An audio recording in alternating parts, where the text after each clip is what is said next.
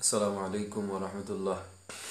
চলে আসলাম আবার ইফতারের পর যে কাজা নামাজ আমরা কীভাবে আদায় করব?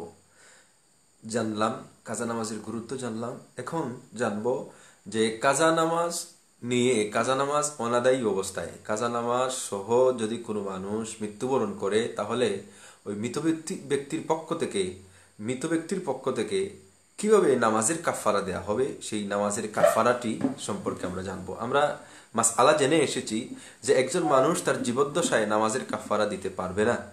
যদি মরে যায়, তাহলে এটা ভিন্ন কথা। ভিন্ন কথা বলতে মৃত্যুর পর কাজা নামাজের কাফারা দিতে হয়। এর আগে নয়। একজন মানুষ সে অসুস্থ হয়েছে, অসুস্থ অবস্থায় তার সে নামাজ কাজা করেছে অথবা কোনো মাজিরতের কারণে কাজা করেছে অথবা তার যে কোনো উজোরের কারণে, যা ইতিপূর্বে আমরা উজোর বলে আসলাম, দেখে আসলাম।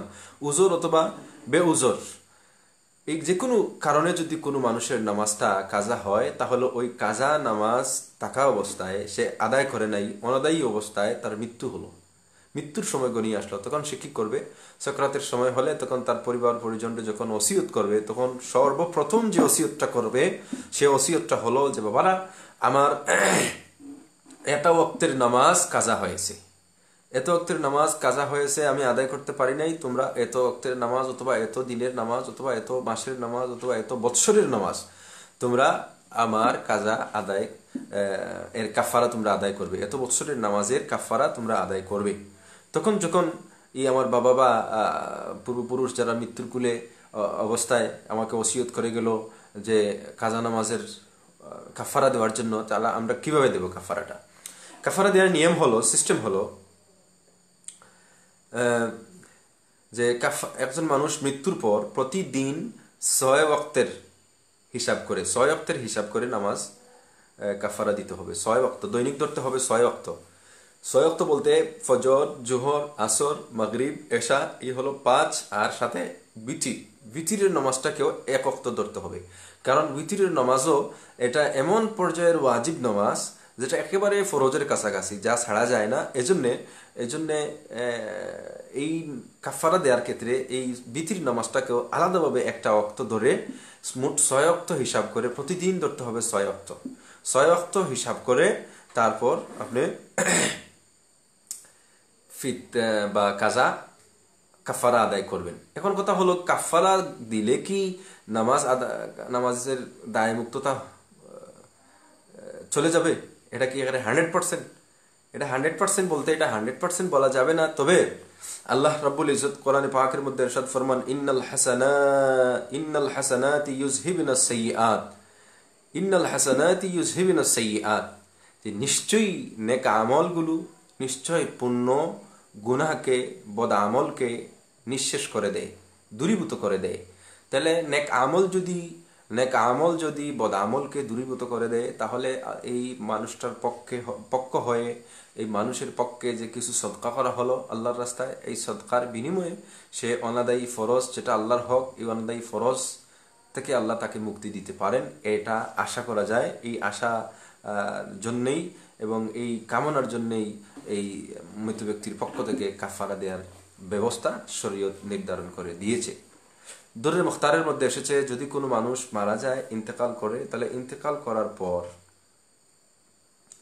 ইন্তেকাল করার পর তার যে সম্পদ শেষ, যতটুকু সম্পদ রেখে যাবে, সেই সম্পদটুকুর থেকে, সেই সম্পদটুকু থেকে এক তৃতীয়াংশ সম্পদ থেকে তার কাফারা, নামাজের কাফারা, রোজার কাফারা ইত্যাদি দেওয়া হবে। এক তৃতীয়াংশ এবং ঋণ থাকলে ঋণ। ঋণ, নামাজের কাফারা, রোজার কাফারা, তার এক তৃতীয়াংশ সম্পদ থেকে। যদি দেখা যায় যে এত বেশি ঋণ, এত বেশি নামাজের কাফালা, এত বেশি রোজার কাফারা, যে এক তৃতীয়াংশ মাল দ্বারা নয়, বরং যে মাল রেখে গেছে, সমস্ত মালও যদি দান করা হয়, তাহলে এটা কাফারাগুলো আদায় হবে না ঋণগুলো আদায় করা যাবে না। তাহলে কি ওয়ারিসদের উপর এটা কি ওয়াজিব? যে না, সব মাল খরচ করে হলেও তাকে তার ঋণ এবং তার রোজার কাফারা, নামাজের কাফারা দিতে হবে? না, এমন নয়। এক তৃতীয়াংশ, শরীয়ত নির্ধারণ করে দিয়েছে এক তৃতীয়াংশ। এর বেশি হলে, এর বেশি তার ওয়ালি ওয়ারিসদের জন্য। এগুলো তারা ইচ্ছা করলে ছায়া যদি তারা, বাবা, যে বাবা আমাদের জন্য সম্পদ রেখে গেছেন আমরা চাইলে আরও অনেক সম্পদ আমরা কালেকশন করতে পারব, বরং আমরা বাবাকে ঋণ মুক্ত করি। বাবার যত রোজা কাজা হয়েছে, তার কাফার আমরা দেই। বাবার যত নামাজ বা মায়ের যত নামাজ কাজা হয়েছে, আমরা তার কাফারাগুলো দিই। এইরকম যদি তা সন্তানদের নিয়ত ভালো থাকে, এরকম সন্তানদের যদি, সন্তান যদি মা বাবার এরকম আকৃষ্ট তাকে হিতাকাঙ্ক্ষী থাকে তাহলে কোনো অসুবিধা নাই। সে চাইলে তার সমস্ত সম্পদ দিয়েও তারা চাইলে ওয়ারিস চাইলে কাফারা আদায় করতে পারে, কিন্তু বাধ্যবাধকতা নেই। এক তৃতীয়াংশের বেশি হলে যদি সম্পদ এক তৃতীয়াংশের বেশি গড়িয়ে যায়, তাহলে কিন্তু এটা বাধ্যবাধকতা করা যাবে না ওয়ালি ওয়ারিসদের উপরে। এখন কথা হলো, যেমন এরা ফতোয় দারুলুম দেওবন্দের মধ্যে এই দলিল খালা এনেছেন, রদ্দুল মুখতারের একটা ইয়ে দ্বারা। এটা এবারতের মাধ্যমে দলিল পেশ করেছেন। রদ্দুল মুখতারের মধ্যে এসেছে এই ফতোয়াটা যে কীভাবে একজন মানুষ কে ওই মৃত ব্যক্তির ওসিয়তকৃত ওসিয়তটাকে পূর্ণ করবে কে? বলতেছেন তারা যে, ইউতা আনহু ওয়ালিয়ুহু, আই মাল্লাহু ওয়ালায়াতুত তশরিফি ফি মালিহি বি ওয়াসায়াতান আও ওয়ারাসাতুন ফায়ুলজামু জালিকা মিন সুলুসিন ইন আওসা ওয়া ইল্লা ফালা ইয়ালজিমু বলতেছেন, এখানে যে যদি একজন মানুষ মৃত্যুর সময় সে ওসিয়ত করে যায় যে আমার এত অক্ত নামাজ কাজা আছে, আমার এতটি রোজা কাজা হয়েছে, অথবা আমার উপরে এই জিনিস রয়ে গেছে, তোমরা এর বদলা দান করো, এরকম যদি ওসিয়ত করে যায়, তাহলে সন্তানের উপরে ওয়াজিব হবে তার রেখে যাওয়া, ওই মৃত ব্যক্তির রেখে যাওয়া মাল থেকে এক তৃতীয়াংশ সম্পদ থেকে ওইগুলো আদায় করা। আর যদি আর যদি সে ওসিয়ত না করে, তাহলে তাদের উপর কোনো ওয়াজিব নাই, বরং দিতে, যদি দিতে চায় তাহলে দিতে পারবে, বরং মোস্তাহাব ভালো হবে, মোর্দার ফায়দা হবে। কারণ মৃত ব্যক্তি ইন্তেকালের পর ওনার পক্ষ থেকে যাই দান করা হবে, যাই সৎকা করা হবে, সবগুলোর স্বভাব তার আমল নামায় যোগ করা হবে, সে লাভবান হবে। এটা দিতে পারে, কোনো অসুবিধা নেই। এখন আমরা জেনে নেই, তাহলে আমি আমার মুর্দে গান বা আমার পূর্বপুরুষ যারা ইন্তেকাল করেছেন যারা ওসিয়ত করেছেন যে নামাজ কি করবেন? নামাজের কাফারা দিব। এখন আমি কাফারা কীভাবে দেব? তাহলে আমি প্রথমে জেনে আসলাম আমরা যে প্রতিদিন ছয় ওয়াক্ত নামাজ ধরতে হবে।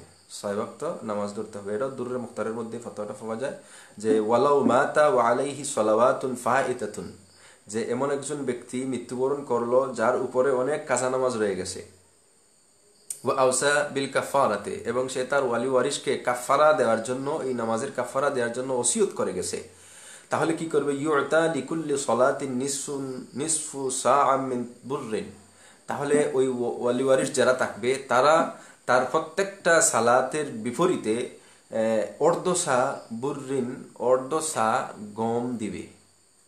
অর্ধসা গম বা আঠা দিবে, অর্ধসা।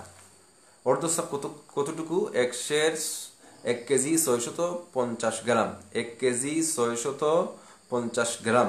প্রায় ফোনে দুইশের এর জন্য দুইশের দেওয়াটাই উত্তম। এক কেজি নামাজের এক এক ওয়াক্ত নামাজের পরিবর্তে দুইশের আঠা অথবা দুইশের আঠার মূল্য কাফারা স্বরূপ দান করাটা উত্তম। দুইশের দেওয়া উত্তম। যদিও এক কেজি ছয়শো পঞ্চাশ গ্রাম দিলে হয়ে যাবে, কিন্তু উত্তম হলো গরিবের ফায়দার জন্য দুই কেজি গম দিবেন। এক ওয়াক্ত নামাজের পরিবর্তে, তাহলে আমরা জেনে নিলাম, এক ওয়াক্ত নামাজের পরিবর্তে দুই কেজি আটা বা গম আমরা আল্লাহ সদকা হিসাবে কাফারা হিসাবে আমরা দান করব। এখন আমরা চাইলে গমও দিতে পারি, আটাও দিতে পারি, অথবা তার দুই কেজির মূল্যটাও আমরা জাকাত ফিতরা যিনি খান বা খাবার উপযুক্ত তাদেরকে আমরা দান করতে পারি। দুই কেজি আটা বা গমের মূল্য দান করতে পারি। বলতেছেন যে কাল ফিতরাতে, এটা ফিতরাতের মতো, এটা ফিতরার মতো। ফিতরা যেভাবে, একটা ফিতরা যেভাবে দুই কেজি আটার মূল্য, ঠিক সেইভাবে একটা ফিতরার মতো। ওয়া কাজা হুকমুল উইতরে ও সৌমে ওরা এইভাবে ওয়া কাজা হুকমুল উইতরে, এইভাবে উইতিরের হুকুমটা ঠিক এভাবে। এই ফাঁস শক্তি নামাজের সাথে সাথে উইতিরের হুকুমটা হুবহু ওয়া সৌমে এবং সোম একটা রোজার ফিতরাও, একটা একটা ফিতরার সম পরিমাণ ওয়াইন্নামা ইয়তা মিন সুলুসি মালিহি, আর অবশ্যই তা দান করা হবে কিসের থেকে? ওই মৃত ব্যক্তির রেখে যাওয়া মালের এক তৃতীয়াংশ মাল থেকে। মৃত ব্যক্তির রেখে যাওয়া মাল সম্পদের এক তৃতীয়াংশ সম্পদ থেকে এই এই কাফারাগুলোর দান করা হবে। তাহলে আমরা জেনে নিলাম যে একজন ব্যক্তির একদিনের কাফারা কতটুকু আসে। আমরা আসি তাহলে বর্তমানে আজ এবারে দুই হাজার বিশ সালে আমি যা আমার ওই লাইভে আলোচনায় আমরা সাইফ আবদুল্লাহ আইডিতে থেকে আমি শেয়ার করে ওই আইডির মধ্যে সবগুলো নিয়ে এসেছি। তো এখন কথা হলো ওই যে কতটুকু সম্পদের মালিক হলে ফিতরা দেওয়া ওয়াজিব এগুলো আলোচনা করেছি। এখন এবং ফিতরার পরিমাণগুলো এবারে বাংলাদেশে, বাংলাদেশ ইসলামী ফাউন্ডেশন অনুযায়ী কত টাকা হার নির্ধারণ করা হয়েছে তাও বলে দিয়েছি যে এবারের ফিতরা, ইসলামী ফাউন্ডেশনের ফিতরা হলো কর্তৃক নির্ধারিত এবং সরিয়া মোতাবিক সরিয়া মোতাবিক নির্ধারণ করা হয়েছে। শরীয়তের সাথে মিল রেখে যেহেতু বাজার মূল্য, বর্তমান বাজার মূল্য অনুযায়ী এই ফিতরার হার নির্ধারণ করতে হয়, সেজন্যে বর্তমান বাজার মূল্য অনুযায়ী বাংলাদেশ সরকার বাংলাদেশ সরকারের ইসলামী ফাউন্ডেশনের নেতৃবৃন্দ অনুযায়ী এটা নির্ধারণ করা হয়েছে। তবে কত? এবারের ফিতরাটা হলো নিম্নতম সত্তর টাকা, অর্থাৎ দুই কেজি আঠার মূল্য। দুই কেজি আঠার মূল্য সত্তর টাকা। এরপরে দুই নম্বর স্টেপ হলো জবের মূল্যে প্রায় প্রায় তিন কেজি তিনশো গ্রাম। তিন কেজি তিনশো গ্রাম জবের মূল্য হচ্ছে যাচাই করে নেওয়া হয়েছে দুইশো সত্তর টাকা। এরপরের ডাব হলো পনেরোশো টাকা। এটা হলো আপনার কিসমিসের মূল্যে। এরপরে হলো খুরমা, খেজুরের মধ্যে খুরমা যেটা, এই খুরমা দ্বারা আল্লাহ রসুল বলেছেন, তোমরা যারা ধনী আসো যারা লাখ লাখ টাকা যাদের ব্যাংকে আছে, তারা তোমরা ফিতরা দিবে খোরমার মূল্যে। সুতরাং খোরমার মূল্য হলো ষোলোশো পঞ্চাশ। আর সর্বোচ্চ হলো, যারা কোটি কোটি টাকার মালিক, তাদের জন্য হলো পনিরের মূল্যে দিবে, তারা হলো তা হলো বাইশশো টাকা করে। তাহলে সর্বনিম্ন সত্তর আর সর্বোচ্চ হচ্ছে বাইশশো টাকা। ঠিক সেইভাবে এই একটা ফিতরার, একটা ফিতরা যতটুকু পরিমাণ, ঠিক সেইভাবে এক অক্ত নামাজের কাফালাও একটা ফিতরার সম পরিমাণ অর্থাৎ এক অক্ত নামাজের পরিবর্তে সত্তর টাকা কেহ দান করলে তা কাফালা আদায় হয়ে যাবে।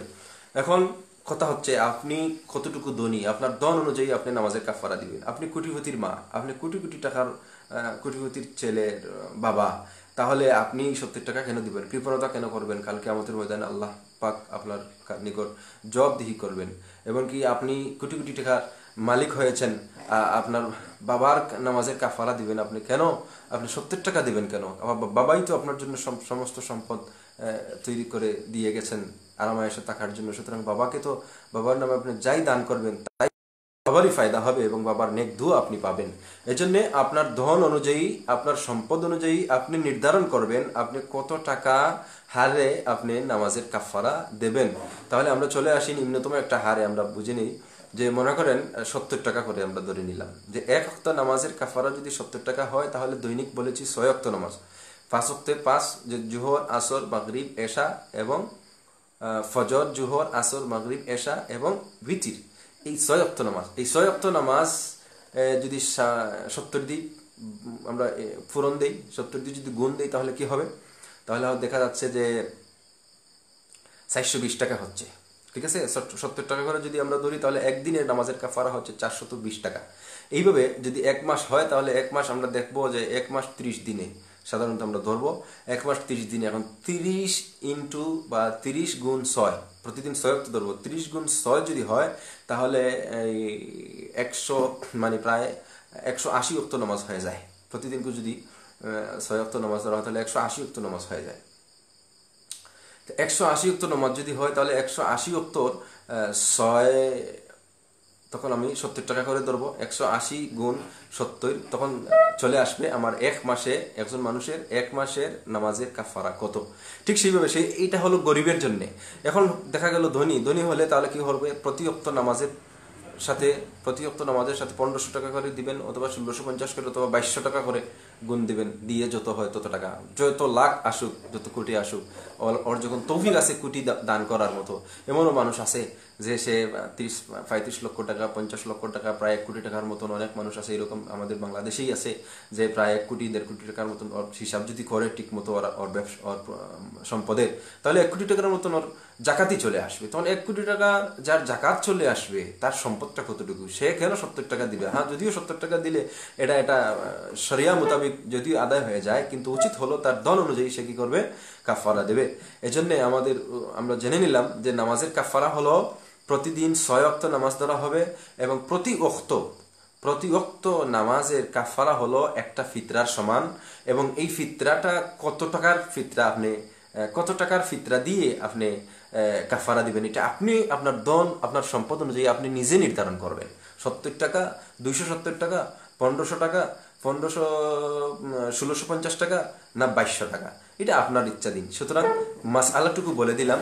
আল্লাহ আমাদের সবাইকে তৌফিক, এনায়ত করুক, বোঝার এবং বিশেষ করে আমাদের মৃত ব্যক্তি যারা যারা ওসিয়ত করে যান এই নামাজের কাফারা দেওয়ার জন্য আমরা কাফারা দিব। আর যদি ওসিয়ত নাও করে যান, কারণ সাকরাতের সময় হলে এরকম আমরা সাকরাতের আলোচনায় পেয়েছি যে সাকরাতের সময় হলে মানুষের হুশ ঠিক থাকে না।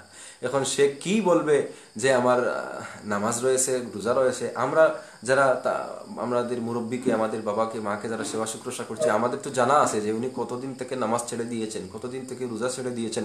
সেজন্য আমরা একটা হিসাব আলাদা করে রাখব এবং আমরাই হিসাব করে আমাদের পক্ষ থেকে প্রয়োজনে আমাদের সম্পদ থেকে আমার বাবার রেখে যাওয়া আমাদের সম্পদ থেকে আমরা কি করব? বাবাকে মুক্ত করব।